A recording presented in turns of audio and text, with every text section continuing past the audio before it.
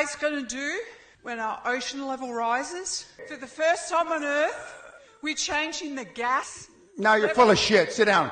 I'm going to answer you. I'm going to answer. Just Dad. shut up Fuck and you. shut up and Fuck sit down. Now, my direct answer to your question, if that were really true, which you believe, and let's just for a moment say that it is true.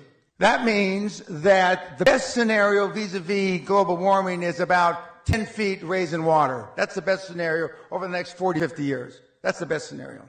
The worst scenario is about 100 feet. But let's just take the 10 feet. If the water on the planet is going to rise up 10 feet, that means the southern part of the United States is gone. England is gone. Most of Europe is gone. And I can go, uh, most of Central America is gone. Okay.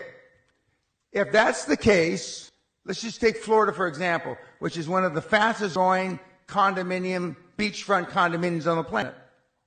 In the prospectus, when you invest, there should be, in the footnotes, if global warming is for real, they won't put it that way, global warming happens and water rises 10 feet, this investment you made is fuck all.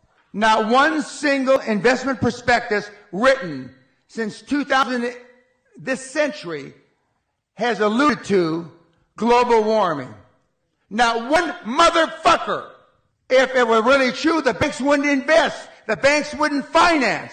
Not one motherfucking condominium.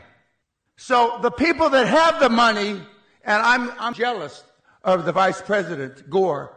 I'm jealous he came up with a scam before I did. Because the financial institutions, the banks of this world know it's not going to happen.